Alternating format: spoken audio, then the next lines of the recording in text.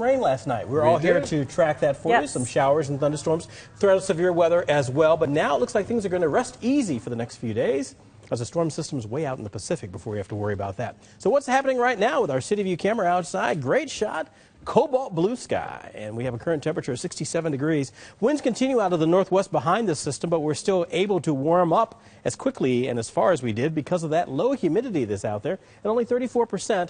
And at KCI, your rain gauge may be more, but just shy of an inch of rainfall reported over the time period. In the neighborhoods, north of the river 67, downtown 68, in Olathe 67, Gardner, one of the cooler ones at 61, and Lee's Summit also 67 degrees. Here's the vigorous low pressure center going through Green Bay, Chicago getting wet, also going to Gary, Indiana, a pretty heavy line of thunderstorms making its way through the northern portion of that state.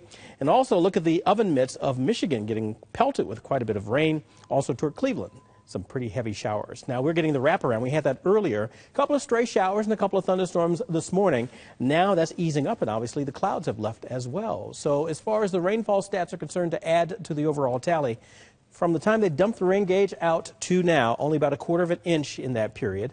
84 hundredths thus far this month. Remember, before this rain event, I think we only had one or two ticks at all. We're still down for the month and still down for the year, of course, by 14.2 inches. But we have made up some ground, and exactly what the ground, if you will, needs. Slow soaking rains going slow enough that it seeps in as opposed to running off. We didn't have any flooding incidents at all during this event. 41 as you're catching those Z's overnight, clear skies and a southwest wind at 5 to 10 miles per hour. So the winds start to swing back to the warmer weather direction.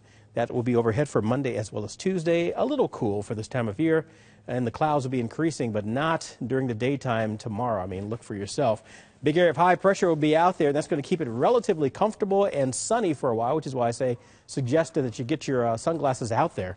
But this couple series of low pressure centers, one that's off the Pacific coast, we'll talk more about in just one second.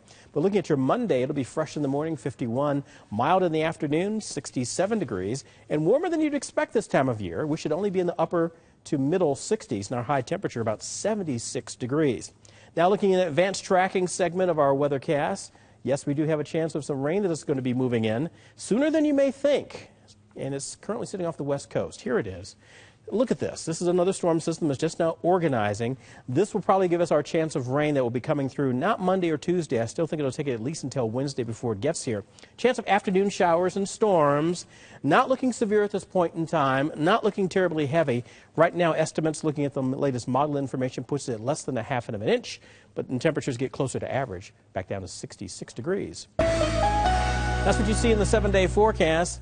74 on Monday, a windy and warm day on Tuesday with a high of 81, and then it cools back down to that 66 on Wednesday with that chance of rain by afternoon. Then it cools down even more, 43 to 58 degrees on Thursday. Not much of a recovery on Friday as that cooler air settles in. Next weekend, looking warmer, 63 on Saturday, 70 degrees on Sunday. But right now, only that 30% chance of rain coming in on the pop chart and it looks like another dose of exactly what we need. Hopefully, some slow soaking rains, enough time for it to sink in and do some good. Oh, let's hope so. Absolutely. It was kind of nice to wake up and just the ground was wet. And, Yeah. You know, we got a lot of rain, Yep, so it's kind of nice. All right, thanks a lot, Brian.